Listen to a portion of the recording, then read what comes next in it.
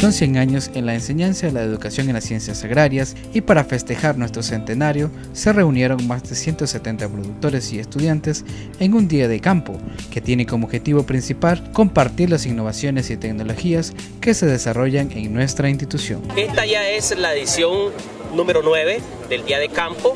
Eh, lo hemos estado haciendo en diferentes espacios de la universidad. Eh, hemos tratado pues también de, ir mejorando, aprendiendo de nuestros errores del pasado para ir este, ubicando aquellas prácticas, aquellos servicios, aquellas tecnologías que tiene, que, la, que tiene la universidad y que pueden ser de interés para los productores. También fue un espacio para que estudiantes de la carrera de agroindustria de los alimentos mostraran cómo brindar un valor agregado a los productos que se producen en las fincas experimentales. Procesando y transformando lo que la universidad está produciendo, banano, guayaba, mango, nopal y todo esto está transformado. Uno de los productos procesados más llamativos fue el vino del banano. Él pasa por lo que es un proceso de lavado, se selecciona el banano, eh, se macera, después de eso se le agrega lo que es agua pura, azúcar y canela, ya que ella es un antioxidante que permite que el banano no se oxide. Después de esto, él se sella, se le pone una trampa de oxígeno para que el oxígeno no lo oxide, lo, lo que es el vino y se convierta en vinagre alrededor de más o menos unos 15 días uno ya puede tener un vino. No tan fuerte con alcohol, pero se le siente el sabor a banano. Aprovechamos ese producto y creamos un subproducto y le damos un valor agregado.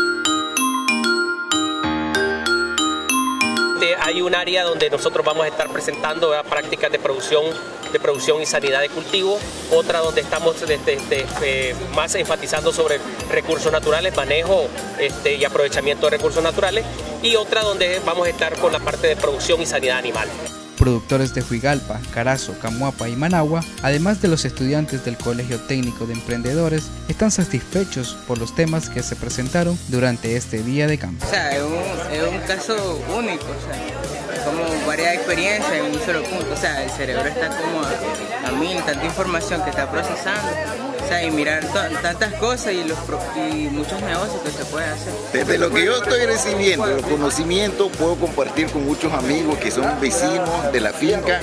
Ellos sí utilizan, por ejemplo, trabajan con ganado.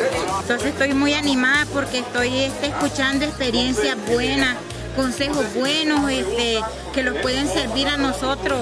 Este día de campo sirve para compartir todo el esfuerzo que realiza nuestra institución para mejorar la productividad, enseñanza y conocimientos que se generan en el tema de las ciencias agrarias y forestales.